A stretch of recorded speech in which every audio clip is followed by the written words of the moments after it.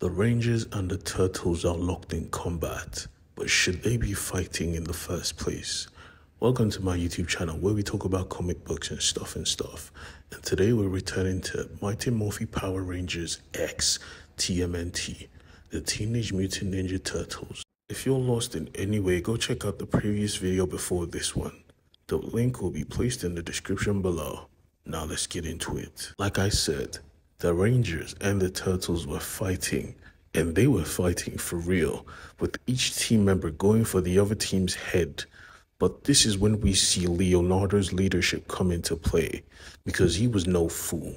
He knew something was off. These guys were considered to be heroes, so everyone enough. Let's talk this out. But before they could have a conversation, the helicopters were here. Not because of their fight, no, but because there was a break in. And this is when we're introduced to April O'Neil, the news reporter covering this story. She tried her best not to mention the turtles, just to hide their identity.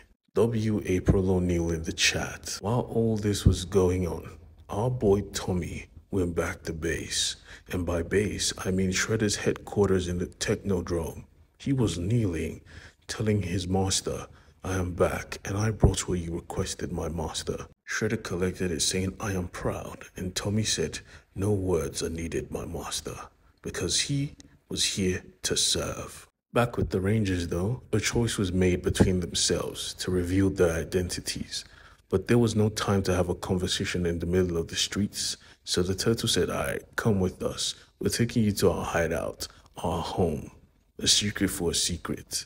And we see that they actually live in the sewers, but we knew that. The Rangers didn't. They didn't expect the smell. While introductions were being made, April came through to introduce herself. But the thing is, no one was focused on April.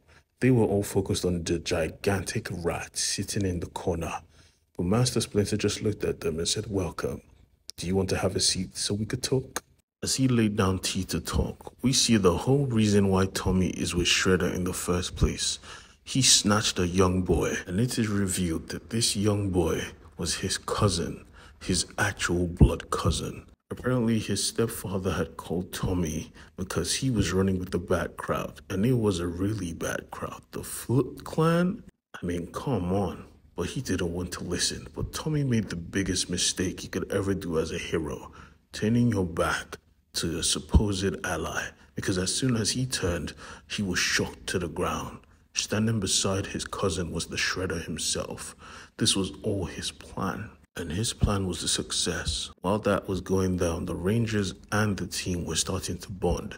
Kimberly and April O'Neil were trying to track the Foot Clan's movement, while Donatello and Billy were both having conversations about science. They enjoy talking about it, especially the fact that Donatello has built everything himself, while Billy has seen ridiculous technology from around the galaxy. But thankfully, April's hustle bore fruit. They got the location of the base of the foot, and the Rangers and the team pulled up. And it was not even a match because these guys were already dangerous on separate teams. Working together, they were unstoppable. Yellow Ranger was shocked. Obviously, she didn't think they were the only ones fighting and trying to save the world, but it was still shocking to see. Raphael made it clear that we have saved the world a multitude of times, but we never are seen. We are ninjas. While they both had serious conversations, Michelangelo and the Black Rangers just spoke about food. Literally, their best food. They had a conversation about it mid battle. Everyone was having fun at this team up, but Jason and Leonardo had to face Karai, and Karai was no joke. She was trained in a multitude of fighting style. But the thing is, so was Jason and Leo. This was a martial arts match, and Karai shouted, Who am I splitting in half first? But before she could even fight, donk, something was dropped on her head. She was knocked out by the Yellow Ranger herself because there was no time for all of this. They had to find their friend. But Karai was loyal to a fault. She asked the question if your friend had so many powerful friends, why did he go alone? I wish I could tell you, but I cannot. I am a foot client through and through. I am loyal. God, I love Karai. Meanwhile, Tommy Oliver had finally woken up from his slumber in a cage. Standing before him was his master Shredder. He tried to beg him, but Shredder revealed that he knows he's the Power Ranger. And Tommy revealed, if you know I'm the Power Ranger, you would know that locking me in a cage was the dumbest thing ever. As soon as he said that, he tried to transform, and he was successful. But the thing is, Shredder wanted this all this time. He had a box with the ability to sap a Ranger's ability. He sapped Tommy's abilities and picked up his power coin, and at that moment, that surge of energy was felt by Rita Repulsa herself. She pulled up because no one takes her powers. Absolutely no one. She saw Bebop and Rocksteady and was like, Are you one of mine? But they made it clear they weren't. Shredder tried to introduce himself. Shredder tried to talk, but Rita didn't care. Who the hell are you? Return my powers now. And Shredder was not going to give up no power. Using the power coin, he said the words and he was transformed, morphed into his new form the Green Shredder Ranger. And Shredder was already on peak human form with all skills in martial arts. This suit just boosted his abilities, but Rita was not scared in the slightest, not even close. She launched an attack. The throne room instantly turned to a battlefield with Rita versus Shredder and Goldar versus Rocksteady. It was epic, especially because Rita was going ape shit on Shredder. Everyone was shocked.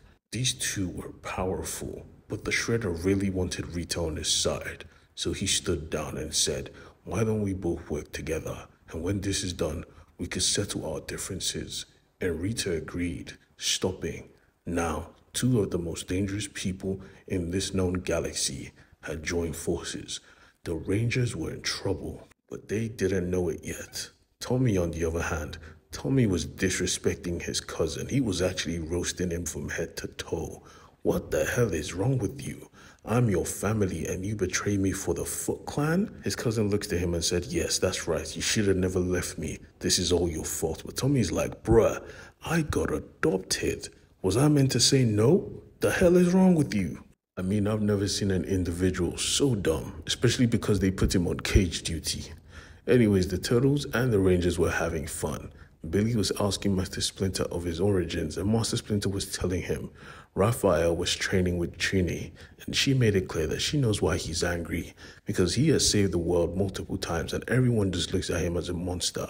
That can affect anybody. But just before they could continue bonding, they got a call from Zordon. Apparently, Tommy had morphed. They knew his location, so they set out. They didn't take the turtles because this was their man's. So they went, morphing as a precaution because they don't know what to expect. And when they got there, they saw the Green Ranger, but it wasn't Tommy. Blasting them with this newfound energy, the Pink Ranger and the Yellow Ranger got depowered. The boys came forth and he did the same to them. Now they were powerless. Now they were at his mercy, and the Shredder has no mercy. He attacked, over and over. Zordon tried to make communications, but they were out of reach. The Shredder, on the other hand, was having the time of his life. He was stronger, his muscles felt like steel. You kids do not deserve this power. Your skills are formidable, I'll give you that, but not enough. He brought out the dagger ready to finish it, but Casey came through. Casey smacked him sharp in his head, causing him to crash on the floor. Even the shredder can be blindsided, but not even a second later, Casey was on the floor next to the Black Ranger. Shredder was triumphant. He had won. And he was not alone. He wanted the rest of their power coins, but the Rangers were never going to give it up. They ran, and he made an announcement You have till sunrise to bring me all your coins, or your friend dies. That is a promise. With his communicator, he told Rita, Your Rangers have been depowered launch your attack. And she did. The world was ending right before their eyes, and they were powerless to do anything. Zordon did a quick scan back at the lair and found that the morphers were actually still good. It's just that their DNAs were locked, so the morphers would agree for anyone else but the Rangers. And Billy realized what that meant. If you need people to morph and be heroes, why not use heroes that have been under our noses for the longest? Why not use the Teenage Mutant Ninja Turtles and April O'Neil. That's right, they are going to morph into Power Rangers.